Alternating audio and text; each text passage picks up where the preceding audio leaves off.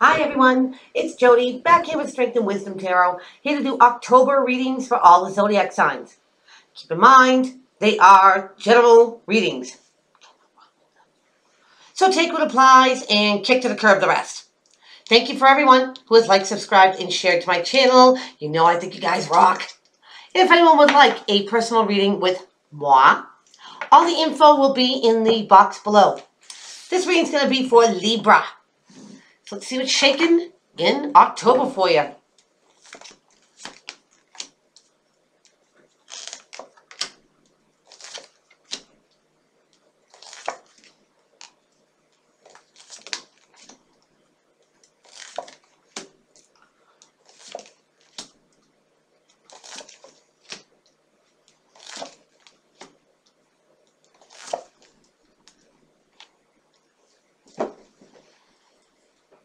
Wow, Libra. All I got to say is wow. Let's dive right in. Bottom of the deck. you go, Leaves. Get the Ten of Pentacles. Tens being at the end of a cycle. This is having all the valuable things that you want and be able to enjoy them. Whether that is money, or the, all the things that you find worth in. And that's just complimentary of this reading. I got to tell you, it's probably one of the best readings that I've done so far out of all the signs. Go Libra. Let's dive right in. We're going to start off with the Three of Cups. Now, Libra, this is about rejoicing, celebrating, having a you day, me day, barbecue day, Come on over, have a drink day. It could be as subtle as just celebrating, you know, a birthday. It's a hangout day.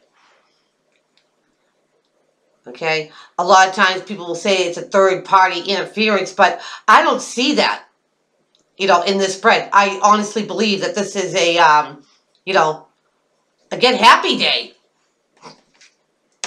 Alrighty. And what is Crossing you to help or hinder is the Ace of Wands. Now, the Ace of Wands is the universe giving you an opportunity to see if you take it or not. And this could be a new creative endeavor.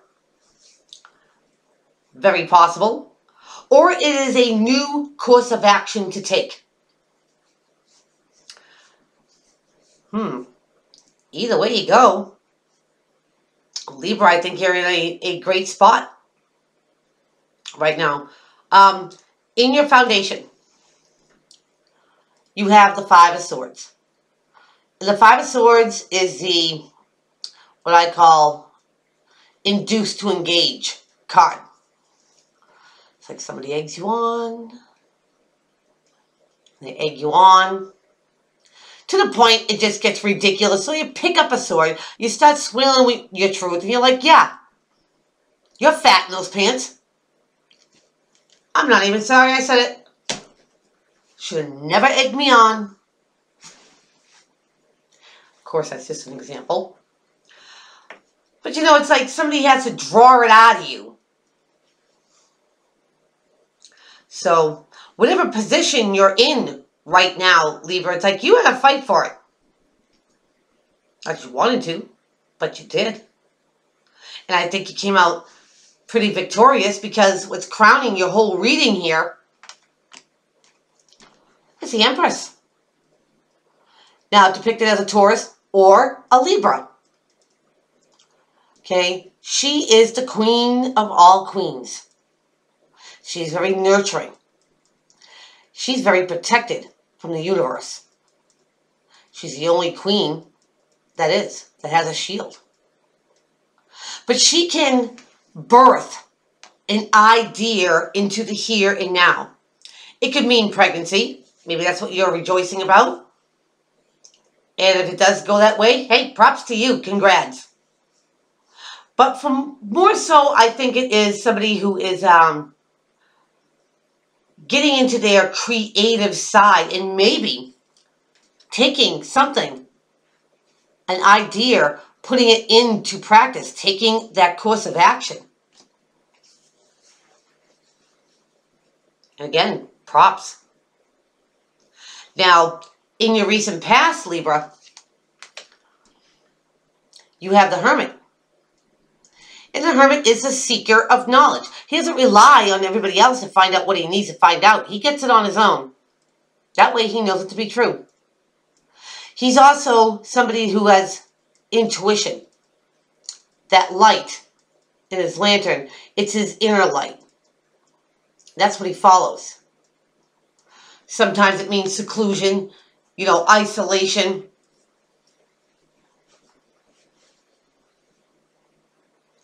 Libra, maybe you do have this idea that you want to bring into the here and now, that you want to make a reality, you know, and you did some introspection on this. How to make it work. What has to go into it. You know, all the fine details. Maybe kept these details to yourself until you had all the facts and figures that you need. Not a bad thing. Now going into your future, you have another major arcana. You have temperance. And this is all about being balanced. She's halfway in water, she's halfway out. But equal balance of the head, the heart, your hopes, your fears, conscious, subconscious, and keeping everything balanced. So keeping it cool, Libra, keeping it cool, not flying off the handle, not getting, you know, emotionally distraught. Okay. Now, how people see you in your environment. You have another major arcana. Look at you go. You have the lovers. Now, of course, this is the intertwining of two souls the I Get You card. It's a Gemini card. Temperance would be Sagittarius. The Hermit would be Virgo. But more so, it's the message of the card. Now, if somebody's looking at you like you're a soulmate, not a bad thing. But the other meaning of this card is major life-changing decisions. And again, if this is a business that you want to start off, oh yeah, that's a game changer. If this is matters of love, that you had to fight for your position of where you want this relationship to go, and you kept even, you know, keel, like the scales in the Libra sign.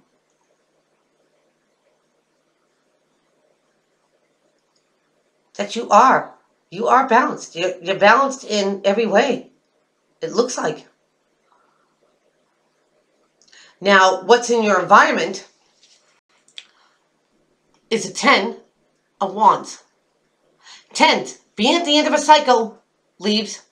This is somebody taking all their experiences, all their know-how, and they're moving forward. It's a burden. It's a heavy load. But they'll drop it when they need to get to where they need to be. Now, Libra, I do think that you are ready to embark on a new endeavor. And you're going to take all your experiences, you know, in everything that you've learned in life, and you're going to put that into practice. Take it with you. You haven't forgotten these lessons. You learned by them. And maybe by these lessons that you're going to take with you, that's what keeps you balanced. Not making the same mistakes twice. And again, Libra, it's just a great reading, you know, all the way around that you are even keel. You know what you want. And you're going to get it. You're in pursuit of it. Maybe that's a course of action that you want to take about this endeavor that, you know, maybe wanted to start for years and now it's time to, you know, dust it off and go for it. The timing might be right. Yeah. And the same goes for a relationship. You know, you kept it cool. You didn't fly off the handle. Okay? You didn't make the same mistakes that maybe in previous relationships. And because you put these things into practice, you know, it's going to pay off. Now, Libra, in your hopes and in your fears, you've got the Queen of Pentacles. Now, here's your earth sign of uh, Taurus, Capricorn, Virgo, or somebody who takes on these properties. She has all the valuable things that she wants and needs. She's very down to earth. She's a realist. Her head isn't in the clouds. She is a methodical, practical person. King, queen, doesn't matter, it's an energy.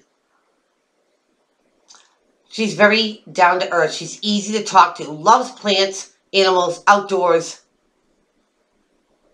And in your hopes and your fears, I can't see anyone fearing being the Queen of Pentacles.